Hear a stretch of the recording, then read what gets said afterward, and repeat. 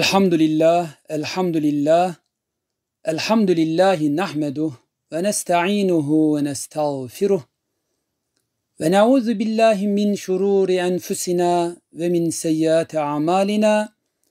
من يهد الله فلا مضل له ومن يضلل فلا هادي له. نشهد أن لا إله إلا الله ونشهد أن محمدا عبده ورسوله. Allahümme salli ala Muhammedin ve ala ali Muhammed. Ama ba'd. Feya ibadallah ittakullaha ve ati'uh. İnnallâhe ma'allezîne etteqav vellezîne hum muhsinûn. Allahu Teala fi muhkemi kitabihil kerim. Euzu billahi mineşşeytanirracim.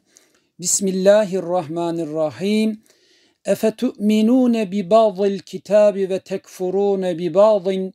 فما جزاء من يفعل ذلك منكم إلا خزي في الحياة الدنيا ويوم القيامة يردون إلى أشد العذاب وما الله بغافل عما تعملون Sadakallahul azim. Yoksa siz kitabın bir bölümüne inanıp da bir bölümünü inkar mı ediyorsunuz? Artık sizden böyle yapanların dünya hayatındaki cezası aşağılık olmaktan başkası değildir. Kıyamet gününde de azabın en şiddetli olanına uğratılacaklardır. Allah yaptıklarınızdan gafil değildir. Bakara suresi 85. ayet. Evet kardeşlerim bugün Hicri Rabiül Ahir ayının 3'ü 1444 Cuma. Okumuş olduğum Bakara suresinin 85. ayet-i kerimesinde Rabbimiz bizleri uyarıyor ve bu uyarılarını şu çerçevede anlayabiliriz. Kitabın bir kısmını gündemde tutuyorsunuz da bir kısmını örtmeye mi çalışıyorsunuz? Kitabın bir kısmının mümini olduğunuzda bir kısmını inkar mı ediyorsunuz? Bir kısmını gündeme getirip onları eyleme dönüştürme çabası içine giriyorsunuz da bir kısmını görmezlikten gelmeye mi çalışıyorsunuz denilmektedir.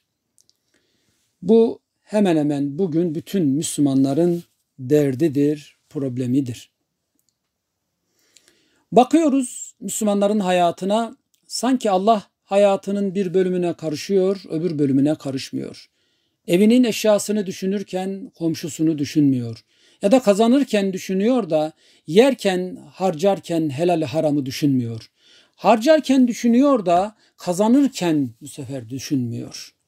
Yine mesela ekmek kırıntılarının yere dökülmesine tahammülü olmayan, bu konuda çok hassas davranan kimileri hanımlarının, kızlarının sokaklarda el alemin ayaklarının gözlerinin altında sürünmesini hiç göremiyorlar.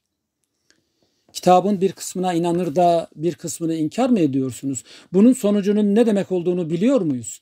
Böyle yapanların cezası ancak dünyada rüsvaylıktır. Kıyamet gününde ise azabın en kötüsüne, en şiddetlisine itileceklerdir. Allah yaptıklarınızdan asla gafil değildir. Değerli müminler, dün İsrailoğulları böyle yapmıştı. Bugün de Müslümanlar aynı şeyleri yapıyorlar. Kitabı parçalayıp onun bir kısmını kabul edip bir kısmını reddediyorsunuz öyle mi? İşinize gelenleri kabul edip işinize gelmeyenleri de reddediyorsunuz öyle mi? Nereden aldınız bu yetkiyi? Kim verdi size bu izni? Kur'an'ın namazını kabul edip hukukunu reddetme. Kur'an'daki ibadet ayetlerine evet ama aynı Kur'an'ın ekonomik düzenlemesine gelince hayır. Kur'an'ın orucunu kabul ama aynı kitabın siyasal bakış açısına gelince, sosyal yapılanmalarına gelince hayır şeklinde kitabın bir kısmına inanıp da bir kısmını reddetme yetkisini kimden aldınız? İşte bugünkü İslam dünyasının bu hale düşmesinin yasası budur.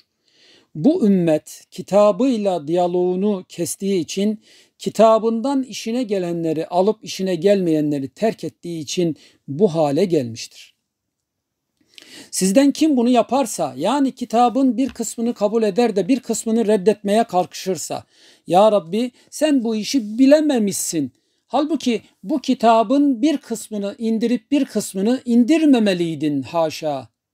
Böyle dercesine Allah'a akıl vermeye kalkışırcasına böyle ikilemli bir hayatın peşinde olanlar bir bölümü kitap kaynaklı ama geri kalan bölümü de başka şeyler kaynaklı bir hayata razı olanlar hayatlarının sadece bir bölümüne Allah'ı karıştırıp geri kalan bölümlerde başka ilahlar, başka Rabler bulanlar işte bunu yapanlar için dünya hayatında rüsvalık vardır.